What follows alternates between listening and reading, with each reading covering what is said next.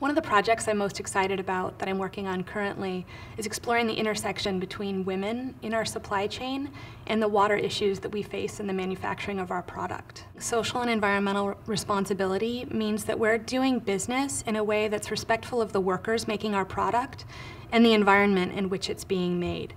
We have an opportunity to impact workers' lives every day via the decisions that we make in how our product gets manufactured. I think we have an enormous opportunity to look creatively at partnerships and innovative processes or technologies to help improve the water that women have access to, uh, improve the quality, and also look at the manufacturing of our product and the responsibility that we have to influence a conservation and reduction in the use of water.